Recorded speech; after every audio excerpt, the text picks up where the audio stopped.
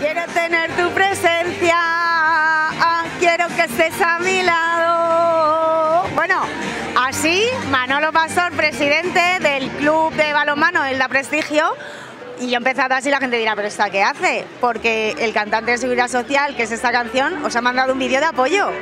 Sí, bueno, nosotros desde el club, el eslogan este año para recaudar abonos ha sido ese, queremos tener vuestra presencia, nos basamos en su canción, él se enteró y se ha puesto en contacto con nosotros, la verdad que se ha portado de maravilla, aportando bueno, unos, unos pequeños vídeos y bueno, muy contento, la verdad que sí. Sois uno de los mejores clubes que existen hoy en día, sobre todo de la, de la zona, tenéis a jugadoras olímpicas, el Elda Prestigio es de lo mejor que hay. Bueno, estamos intentando devolver al club donde, donde estuvo y obviamente para poder hacer eso necesitamos tener jugadoras de altísimo nivel.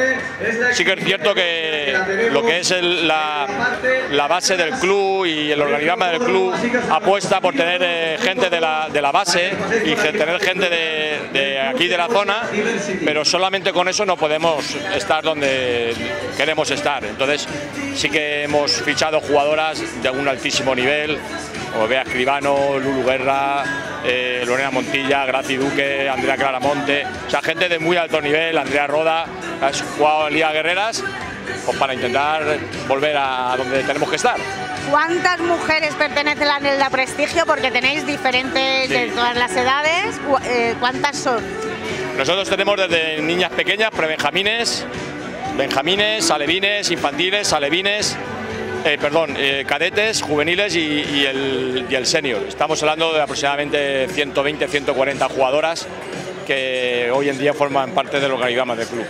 El Da Prestigio es uno de los clubes que además eh, imparte muchísima disciplina a la hora de los entrenamientos, sí. pero porque lo que buscáis son eh, promesas que, que, despunten en el balonmano y de ahí que muchas han despuntado.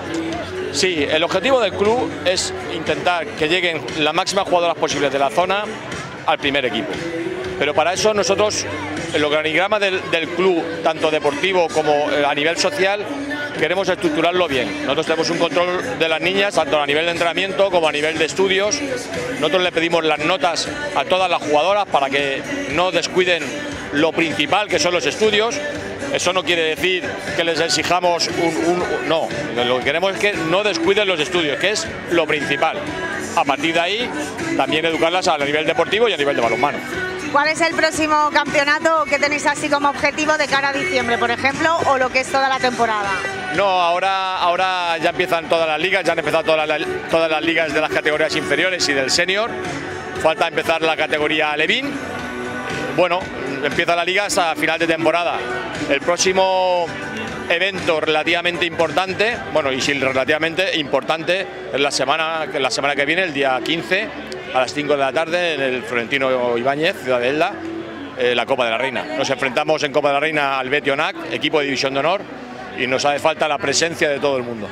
Pues está ahí, vamos, tenéis todo el apoyo. Repite el día 5 y media, ¿qué día? En el Florentino Ibáñez. El sábado, día 15, a las 5 de la tarde, en el Florentino Ibáñez, Ciudad de Elda, Copa de la Reina contra Betionac, equipo de división de honor. Os esperamos a todos. Pues eh, ahí lo ha dicho Manolo Pastor, presidente del Elda Prestigio Balón Mano.